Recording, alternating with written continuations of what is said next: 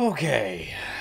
This is a long time coming. I've held this off for too long. Let's try and get this over with as quickly as possible, even though there's a lot to talk about, so that's not really true. We'll, honestly, let's just try and bang out the honorable mentions. Hey guys, this is my video talking about what I believe to be the five best episodes of Supernatural Season 4.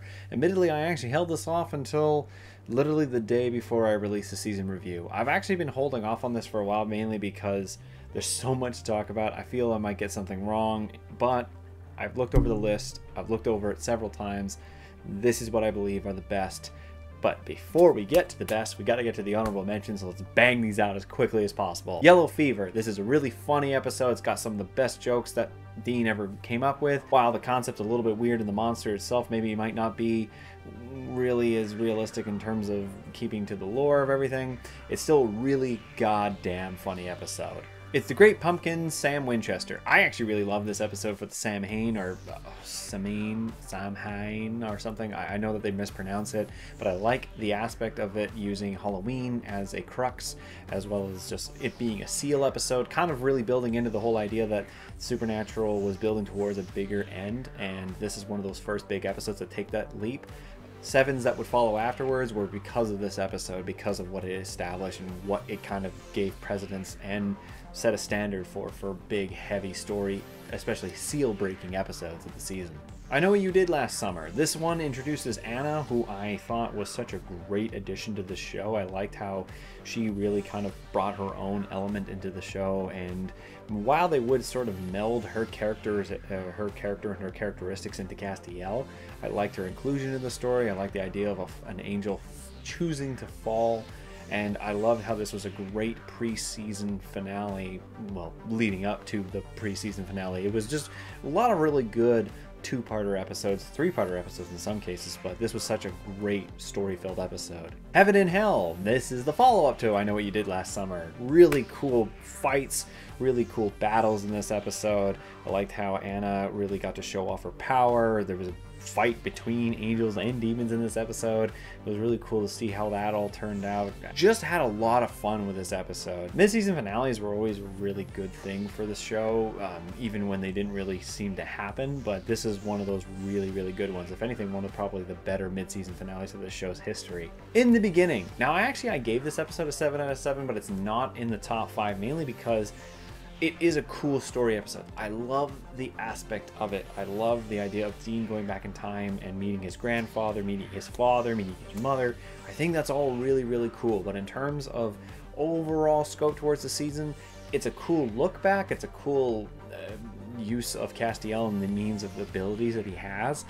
But it's kind of just a go back in time. This is what's going to happen. Nothing's going to change. Doesn't matter episode. There are more that would do this better in the latter seasons, especially season five. For those of you know what I'm talking about, except instead of going back in time, it's going forward in time. But I like what this episode brought to the table in terms of kind of doing alternate worlds because this is an aspect that would obviously be taken to the nth degree in the latter seasons. And then finally, Jump the Shark. This is an episode that starts off kind of bad, but then it goes really good, and it has this cool aspect of what would happen if the brothers met their half brother obviously it's not actually him, but they find out this alternate aspect of their father. They find out that he actually had an additional family. And I just love the dynamic. We're seeing that Sam wants to train him as their dad did, whereas Dean's like, hell no, keep this kid out of it. And I like that opposite. I like the, the change of of perspectives in this episode, considering the brothers' history. All right, so those are the honorable mentions. I'll try to get those through as fast as possible because now I got to talk about, oh god, I got to talk about the five best. And uh, trust me, this was a hard one. Starting with number five, Death Takes a Holiday. This is a really cool episode. I love the idea that Death would just take a break, and it's because the demons specifically Alistair, are trying to break a seal, and by doing that, they need to kill Reapers. And I really love this concept, not only in terms of how the brothers find a means to get into the Reaper world to then try and thwart Alistair, and then even being caught in the traps that they themselves put ghosts in to trap them, but just the whole scope of it. I thought it was really cool that they were able to get this whole town full of dead people. There's a shot where you just see all the Reapers just kind of standing around. That's one of my favorite shots of Supernatural. I liked it all, and also this was the episode that introduced Alistair. Mm, chinny Chinny Chin Chin Alistair. I thought it was really, really good, and it's one of the best two-parters in this because Head on a Pin follows it, and Head on a Pin is even better than this one. This one's already a freaking 7 out of 7, so there's one of the several reasons why I love Death Takes a Holiday.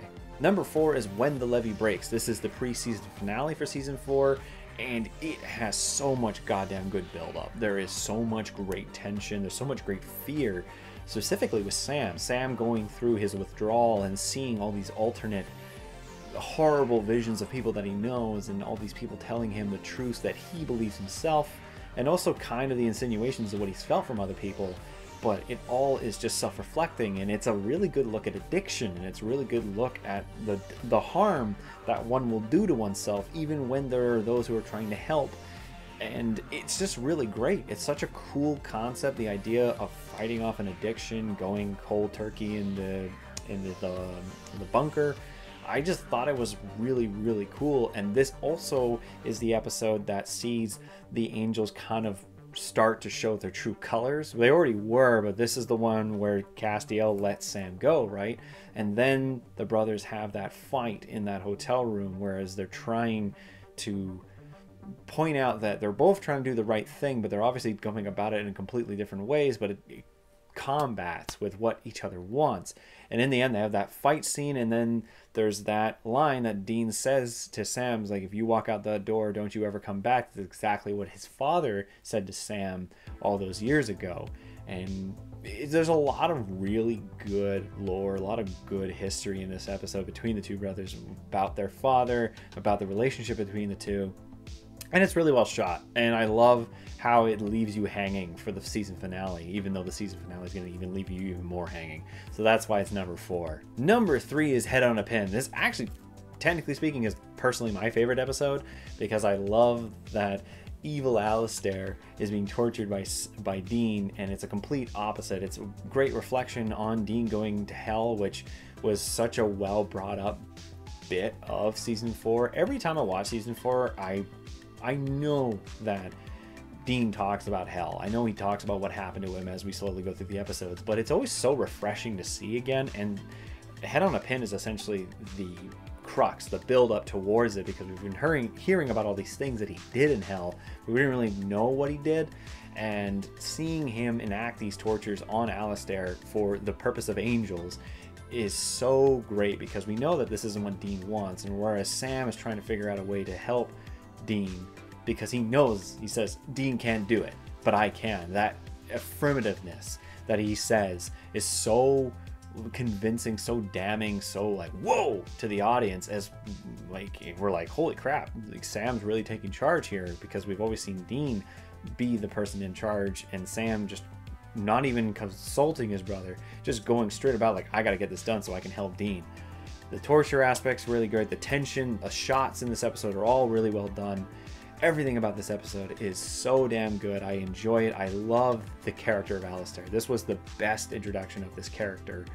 Um, well, we already had him in uh, Death Takes a Holiday, but he's just so menacing in this episode. Apparently, him and Dean, or him and Jensen Ackles, really got physical in terms, but like friendly with each other. But like actually being held up, there's a lot of trust between the two actors to really sell the danger of the scene, and I love that they went to that level to do so. Now, number two, number two, number one were such a huge, huge uh, combative battle for myself, mainly because of the aspects that kind of surround the two. But number two is Lucifer Rising, the season finale of the season. Such a goddamn good season finale. Really speaking, it's probably one of the best season finales that the show ever had. We have the brothers at complete opposites. We have them against each other pretty much. And they're all rushing, they're both rushing to the same thing, but for two different reasons. Sam wants to kill Lilith to supposedly save the world, whereas Dean is trying to stop him from killing Lilith because he knows that by killing Lilith, that releases the last seal and thus lest Lucifer walk the earth. But neither know each other's intentions, and while they're trying so hard to do what they think is the right thing, they're both injuring and combating themselves. And Kripke does a fantastic job of trying to emulate uh, Kim Manners' directing style in this episode. The whole bit where they come and find Lilith in the church, and there's the heartbeat and the editing and the quick cuts and just the great camera angles. So that whole bit, the the, the amount of heart rate pressure that you're going through in that scene is immense. You're absolutely on at wit's end to see how this turns out. You're wanting Sam to kill Lilith, but at the same time you don't want him to, and you want uh, Dean to try and save him, but you know it's not going to happen. But it's kind of one of those Romeo and Juliet situations where you hope that a different ending or a different outcome occurs, even though you know it won't happen. Anakin going dark side in, in, episode three is always a really good example for me as well. And then after Lilith is killed, and there's just that great fade to white, and we were left hanging all throughout that summer. Just such a good season finale. It's honestly, aside from Swan Song, I think this is probably the best season finale the show ever had. That's why it's number two, because number one, number one is the best season opener the show ever had. Lazarus Rising. Everyone talks about this episode in terms of oh, season openers, and there's good reason to it.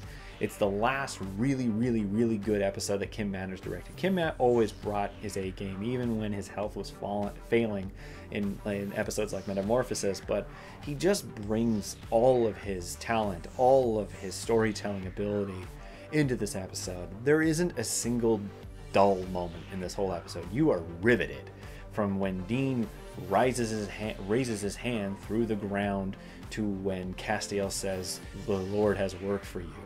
It's so fantastic. We had an introduction to a whole new world of uh, characters, being the angels. We have a great introduction of Castiel, as he's alluded to throughout the whole episode. As we see Sam and Dean reunite after Dean being dead for the for three months. We also see Dean punch a demon in the face uh, such a that's one of the best bits i would say. It's just the balls of that scene it's just so good. Overall lazarus rising is such a great way to bring people back after the despair that we all went through with season 3 does that kind of demitigate the ending of season 3 which i love so much? Sure maybe in the long run but that three month span of time between dean dying and dean coming back i had no idea what they were going to do I didn't know how they were going to proceed with this. Seeing Dean come back, but not making it feel like a MacGuffin or kind of like a wasted aspect was the real challenge of this episode, and it just does it marvelously. Every bit about this episode is great. Going back again to Misha Collins uh, being introduced as Castiel, this great character that just got completely shed on in the latter seasons. It's really cool to see him have such grandioseness, uh, like such grandiose to him, such power, such mystery, such intimidation. Um, it's a really cool alternative to the angels that we kind of were, we've always been kind of told about. It was cool to see angels as warriors. At the same time, too, the illusion, the kind of what if, if there was even anything resembling heaven, angels, or God, throughout the last three seasons was just so kind of like it's probably not going to happen that when it did, it was done so well that you were fine with being completely honeydick for the last three seasons. Lazarus Rising is just overall it's just a fantastic episode. It's a fantastic season opener. It's probably one of the best in the show's history, if not the best in the show's history. I've already started watching season five, and that sympathy for the devil is okay, but it's not as good as this one. So I'm I'm honestly going to come out and say it. I really think that Lazarus Rising is the best season opener that the show ever did. The only other one I would say that's in slight contention is season 2 and that's because I just I love season two's opener as well. But anyways, there you go. There you have it. Those are the what I believe to be the top five best episodes of Supernatural season four. You guys tell me what you think your top five episodes are in the comments below, because I'm really interested to see what you guys have to say. Because I imagine this is a bit different. However, I almost guarantee y'all are to have either Lazarus Rising or Lucifer Rising, or hell, both of them in the same list for the top five. Give me your guys' list. I love to see what they have, what you guys have to say. Anyways, guys, that's it. This is officially the last video about season four, officially. There is still to be the one with me talking about Chuck that I plan to do as soon as possible. Admittedly, I've already started reviewing season five. I'm hoping to kind of catch up, like get a little bit ahead of myself because I've got a lot of work to do, obviously. Anyways, guys, that's all for me. I hope you enjoyed the video. If you did, leave a like, and if you're interested in more, subscribe. Otherwise, I'll see you guys next week with Supernatural Season 5. Thanks for watching the video. My name is Nitz, and you might remember me from the animated cult classic TV show Undergrads. It's been a while, but I'm happy to say the Clique is finally getting back together in an all new movie, thanks to a successful Kickstarter campaign. But we are still asking for your support. To see any and all updates about the upcoming Undergrads movie, be sure to check out and like the Bring Back Undergrads Facebook page. And with any luck, we'll see you guys soon.